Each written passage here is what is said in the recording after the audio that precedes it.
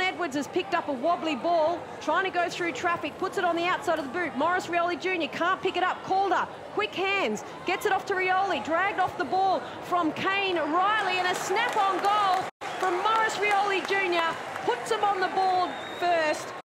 Saunders tries to get the torp, doesn't connect to it, but it still goes 60 metres, bounces past everyone. Raph Clark picked it up, gives it back to Rioli Jr. It's an up and under kick. Good work by Bodywork in the goal square. It's bounced through. It's absolutely done a Shane Warne spinner. it was heading like it was tracking out of bounds, and it's bounced through the goals. So Nick Yaron Picks it up the line, bowls, gets a fist to it. He's taken out. The ball's going to go out of bounds. No, Maurice Rioli Jr. keeps it in.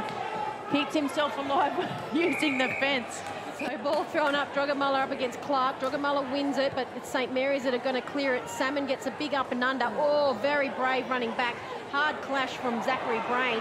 St. Mary's, Raph Clark spins out of one. Handball over to Yara. Gets it to Maurice Rioli Jr. Dribbles it through. Dribbles it through. Dribbles it through. Kick its legs And that has gone through for a goal. That has actually gone through his legs. That's and that is his... one. He plays on around three Tigers that were standing the mark.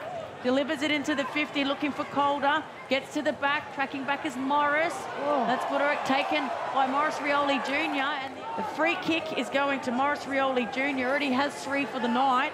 And this is not impossible for him. No, it isn't. It isn't. And very unlucky there for, with that decision. but what uh, what uh, a lot of AFL players will tell you across across the country is that when there's a rally in the forward line uh, and it's defensive possession, just watch and out and that finish. How easy that was that from the pocket? That's his third goal, fourth goal of the game. So